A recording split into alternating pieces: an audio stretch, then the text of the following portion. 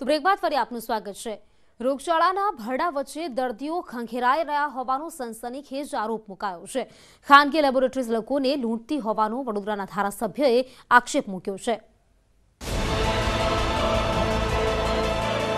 રાજ્યમાં ખાબકેલા ભારે વરસાદે કેટલાક વિસ્તારોમાં વિનાશ વેર્યો. તો કેટલાક વિસ્તારોમાં રોગચાળાનું ઘર બન્યું. પાણી ઓસર્યા બાદ વકરી રહેલા સ્વાઇન ફ્લૂએ વડોદરાવાસીઓની ઊંઘ હરામ કરી નાખી છે. એક તરફ રોગચાળો તો બીજી તરફ ખાનગી લેબોરેટરીવાળાઓ ઉઘાડી લૂંટ ચલાવી રહ્યા હોવાનો આક્ષેપ મુકાયો. ખાનગી લેબોરેટરી દર્દીઓ પાસેથી બમણા રૂપિયા લીધી હોવાનો ધારાસભ્ય યોગેશ પટેલે આક્ષેપ મૂકીને તંત્રનું ધ્યાન દોર્યું.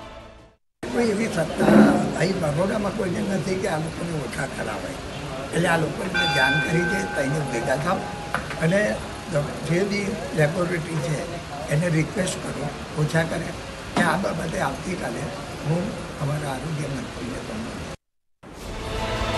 સ્વાઇન ફ્લૂ વાયરસ ડિસીઝ ગણાય છે. ત્યારે સ્વાઇન ફ્લૂ અને કોરોનાના ટેસ્ટિંગની પદ્ધતિ સરખી હોવાનું અને કોરોનાની જેમ ગળામાંથી સ્વેબ લઈ ટેસ્ટ કરાય છે. પરંતુ સ્વાઇન ફ્લૂના ટેસ્ટની કિંમત ચાર હજાર છે, જેથી પ્રજા પરેશાન છે. રવિવારે આઠ દર્દીએ પોઝિટિવ હોવાનું આરોગ્ય વિભાગે જાહેર કર્યું છે, જ્યારે ચૌદ દર્દી હોસ્પિટલમાં સ્વાઇન ફ્લૂની સારવાર લઈ રહ્યા છે.